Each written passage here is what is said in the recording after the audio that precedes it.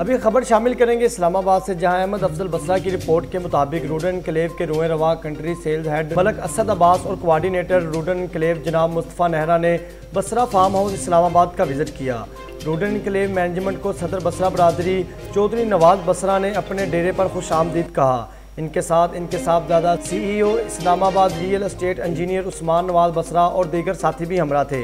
اس موقع پر Rudn clue management کا کہنا تھا کہ اسلام آباد ریئل اسٹیٹ کی ٹیم روڈن کلیو سوسائٹی میں ایک کلیدی کردار ادا کر رہی ہے اور روز اول سے ہمیشہ ہمارے شانہ بشانہ کھڑی ہے۔ اس موقع پر گلبرگ اسلام آباد کے ڈیولپر کی روڈن کلیو سوسائٹی میں بطور ڈیولپر کام کرنے کی خوشی میں اشائیے کے ساتھ کیک بھی کاٹا گیا۔